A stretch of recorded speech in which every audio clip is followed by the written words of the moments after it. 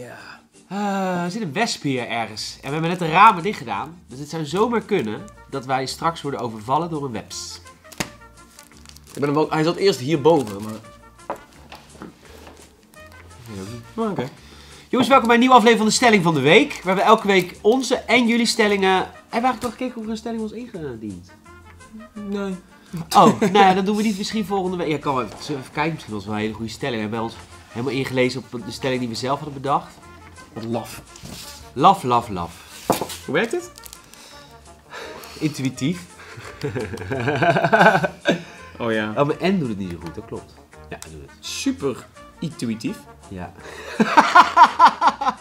Wat ben je toch snel? Ja, de, van deze was snel. God, die hebben ook echt de Gordon van gamers hebben. Je De Gordon van Gamers Ja, die is ook wel eens zo snel met zijn grapjes. Lekker brietje erbij. Zo'n honger. Zullen we wie van de brief spelen? Jezus. Zit verder een lul, maar hij is wel snel. Eh, Ik heb allemaal goodies van Gamescom. Zie je, leuk hè? Zit meer hè? game websites moeten een goede app beschikbaar hebben, kappa. Ja, die was het niet bedoeld. Indie games zouden meer aandacht moeten kunnen krijgen via bijvoorbeeld beurzen. Is gebeurd. We hebben heel veel previews van jou opgenomen. Ja, allemaal eigenlijk- indie games. Ja, dus bij deze al soort van... Als je ze niet ziet op beurzen, dan, is, dan, dan doe je iets fout. Want er zijn heel veel indie. Zelfs op First Look en dergelijke hebben ze echt straatjes met indies. Ehm dat was het volgens mij. Ja, Nou, wel leuk. Veel reacties vorige week. Leuk ja hoor. leuk, leuk, leuk. Twee Oh, en ik terug. moest meer liga's gaan eten. ik word te dun. Oh, daar is die. Eten is een liga. Oh ja, ik zie hem. Ja, oké. Eh, Oké, nou goed. Oh. Ja. Eh, nou, welkom bij de stelling van de week, waar we elke week jullie stellingen beantwoorden. Of onze stellingen, ligt eraan of jullie er een aanmelden of niet. En eh, mocht je er een aanmelden, doe dat even in de reacties, vinden we leuk. Want dan kunnen we ook een beetje discussiëren over wat jullie allemaal bezighoudt. Tom, wat houdt jij jou bezig? Wat mij bezighoudt was, eh, was Gamescom, denk Ja. ik, de afgelopen tijd. Dat, Daar waren we. Ja, en dat vind ik dan toch altijd wel weer leuk om een beetje op terug te, te reflecteren. Ja, is ook zo. Dat is Ja. lekker ehm, geëngageerd. Ja, ja nee, dan zit je lekker in het, in het heden of zo. Ja, of misschien hadden we het op Gamescom zelf gewoon moeten doen. Dat we dan... Nee, dan hadden we de plan. We hadden heel Ja. veel grote plannen om allemaal content te maken vanaf Gamescom. Allemaal niet bed. Nee, Alleen de previews. te druk. Ja, nou Dat ja, is jij wel- had het niet druk. Nou, eh, zelfs dat ik twee extra dagen bleef. Was, ja, Oké, eentje, eentje was wel iets meer laid back. Maar zelfs die ene extra dag dat er ook nog business was, was gewoon wel echt gewoon van hot naar her rennen. Dus dat was nog wel, eh, ja. Nou, kom maar op met die stelling. Ja, stelling is, eh, Gamescom is overbodig. Klopt. Of, of in ieder geval, ja, misschien is overbodig ook wel een beetje een, een, een te groot woord. Ehm, niet meer nodig. Gamescom is niet nodig. Ja.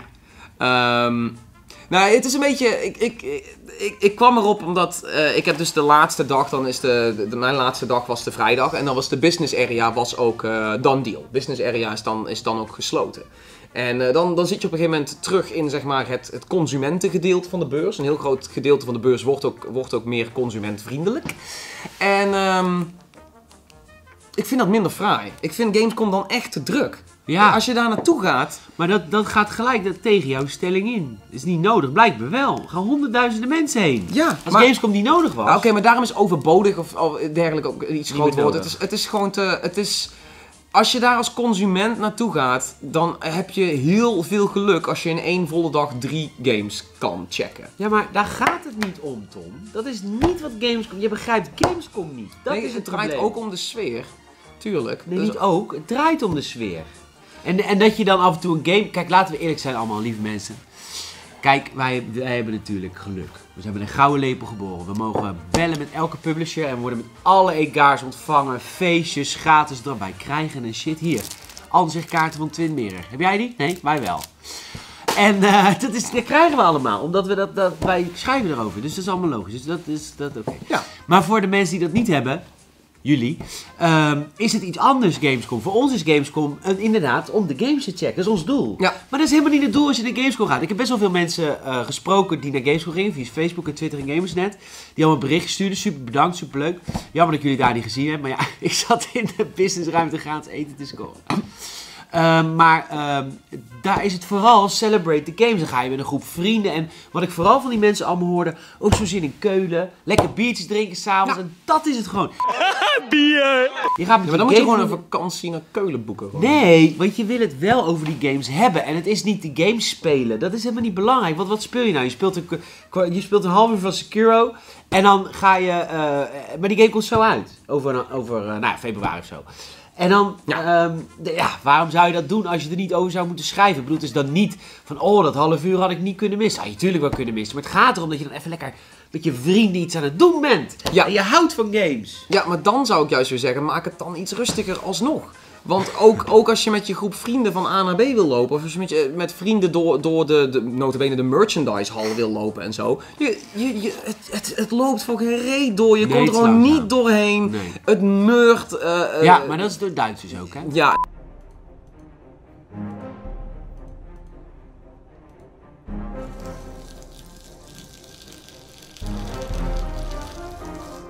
Look ja. riekt ook, maar minder dan eh, Gamescom. Ja, misschien ook eh, hogere plafonds. Dus dan kan die meur die verzamelt daarboven, weet je wel.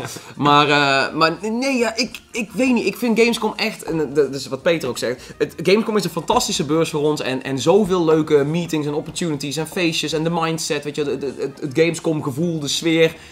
dat, je, dat je met ervaren Gamescom-gangers kan, kan spreken over... Mijn lichaam zit op Gamescom dag 5, zeg maar. En dat Ja, dan ja. mensen begrijpen hoe ernstig je lichaam gewoon echt van binnen dood aan het gaan is. Ja.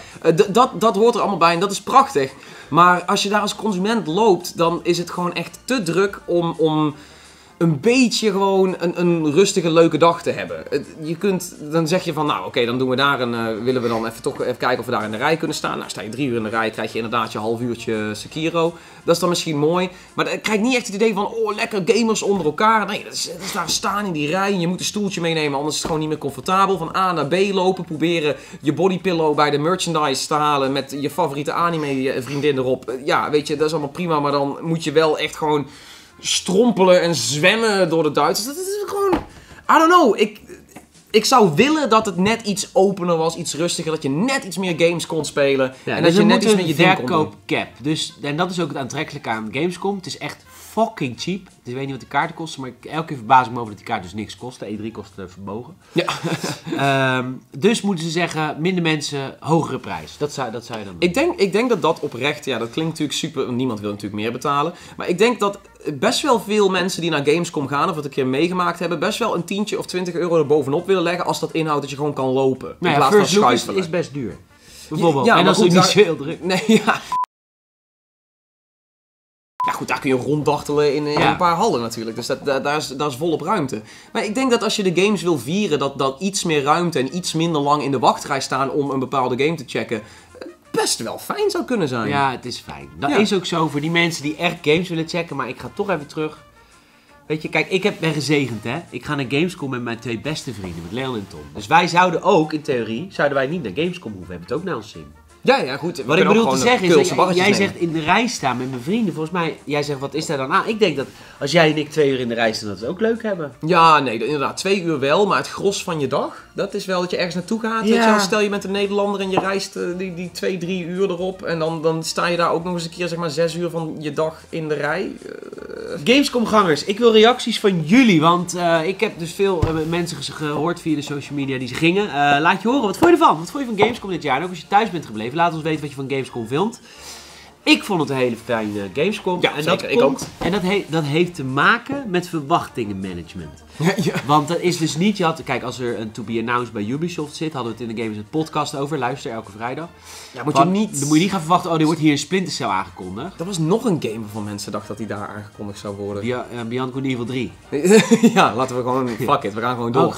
Nee, er waren een aantal, aantal dingen dat, dat mensen zeiden van... Ja, dat is sowieso dat. Dat je denkt van... mm, Terwijl ik verwacht het allemaal niet. Dus ik was super blij met de Settlers. En ik hou Ja. van dat soort games. Dus voor mij, ik heb Anno gezien en Settlers. Ik vond het sowieso super vet. Ja. Dus ga een verwachtingenpatroon. Als je, als je zeg maar ehm, naar Gamescom gaat en je kijkt altijd naar je vrienden van Gamersnet. En je denkt van, oh we gaan zien wat samen, we spelen wat samen op E3 spelen. Ja, sorry, dat is gewoon echt niet. Nee, dat kun je gewoon niet inplannen. Dat kun je dan moet je alle dagen inplannen. gaan en dan moet je overal eigenlijk gewoon de rijen skippen en, en misschien een paar fitties beginnen. Nee, nee, nee. Ik heb een pro tip voor als je volgend jaar naar Gamescom gaat. Ga laat. Ga, stap om vijf uur die beurs binnen. Want tussen Oh, vijf ja. en zeven is het echt fucking rustig. Ja, ja, ja. Dat viel mij echt mee. op. Ja, nee, dat, zijn inderdaad een beetje de, de tijden dat je er moet zijn. Vooral niet gewoon proberen op tijd te zijn, want dan kom je dus ook echt nog in een rij voor de beurs te staan.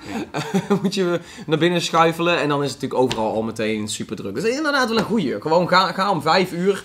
Koop Lekker, drie... heb je ook geen file. Ga, stap Ja. lekker in Nederland om half drie in de auto. Lekker man. Ja, ja. Dan kun je dan 's ochtends lekker even werken, geld verdienen. Ga je 's middags lekker de games Alle, alle goede parkeerplekjes komen weer vrij op dat moment. Ja, ja S'avonds shit. naar de kroeg, laveloos, prima. Hotelletje Ja. boeken, uitslapen tot half twee, hup, weer naar de beurs. Ook Prima. een pro tip, Airbnb'tje, geen hotelletje boeken. De hotelletjes weten dat Gamescom een Ja, ding is. En die duur. gaan, die gaan eh, de prijzen bovenop gooien. Ja, we hadden echt een goede Airbnb. Goeie, ik-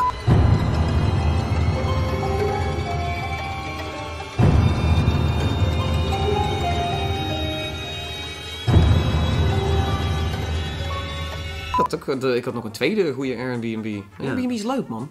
Lachen. Ja. Goed. Doe jij een keer de afkondiging. Ja, vertel ons wat je ervan eh, van vond, van de stelling. Ben je op Gamescom geweest? Vertel ons wat je van Gamescom in het algemeen vond. Ben je niet van? Ben je niet op Gamescom geweest of nooit niet? Vertel ons wat je ervan verwacht en vraag om die tips. Hè? Want we geven je zo tips voor eh, Gamescom 2019. En natuurlijk, ja, we zoeken natuurlijk ook weer een stelling voor de volgende week. Dus laat hieronder iets leuks weten, iets relevants. Iets waarvan je denkt van, oh, dat is een kwestie, jongen. Dan gaan ze, dan gaan ze, ze gaan ook st- elkaar stompen. Die moeten we hebben. En dan zien we je hopelijk terug binnenkort snel op gameset.nl. Of gewoon bij de volgende stelling van de week. Doei!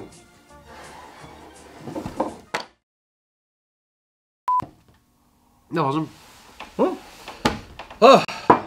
Koffie is wel echt koud inmiddels. Dat is wel- Echt? Ja, ja, best wel. Heftig. Nee, valt mee. Het is gewoon een cold brew nu. Ja, maar ik vind sowieso dat jij echt, jij hebt echt een smerige gewoonte qua koffie. Hij kan gewoon, serieus waar. Als wij, vorige, als wij gisteren waren, kan hij 's ochtends weer de koffie opwarmen. Kan het opdrinken. Vind je dat zo vies? Nee, Dat hoort niet. Het extra langzaam trekken, dat is toch prima? Nee, maar je kan niet zeggen dat het net zo lekker is als een verse bakpleur. Ligt eraan. Wat, wat, kijk, sowieso een lungo, als je zo'n Nespresso cup zet, die moet je, als ze koud zijn, moet je ze echt weggooien. Ja, dat snapt maar iedereen, veel, maar filterkoffie kan die nog wel even, weet je wel, een nachtje na. Ik maak zelf ook cold brews. Die laat ik notabene ook drie, drie, vier dagen in de koelkast staan. Dat hoort erbij. Ja, dat is waar. Maar jij warmt hem ook weer op. Ja, dat is, ja, dat is, dat is wel, ja.